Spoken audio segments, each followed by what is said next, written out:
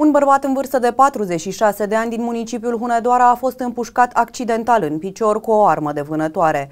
Arma s-a descărcat în timp ce bărbații se deplasau spre casă cu un autoturism. Potrivit anchetatorilor, arma de vânătoare nu ar fi fost asigurată corespunzător, iar din cauza drumului neamenajat în localitatea Căoi, aceasta s-a descărcat accidental și l-a rănit pe bărbat, acesta fiind transportat la spitalul din Hunedoara.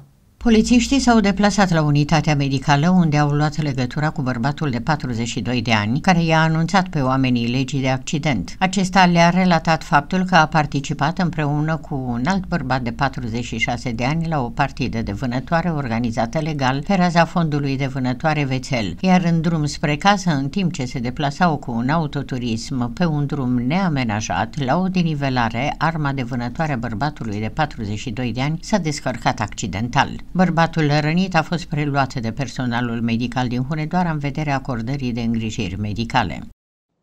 În acest caz, polițiștii au întocmit un dosar de cercetare penală sub aspectul comiterii infracțiunilor de nerespectare a regimului armelor și munițiilor și vătămare corporală din culpă, iar în funcție de rezultatul anchetei și cercetările ulterioare vor fi luate măsurile care se impun.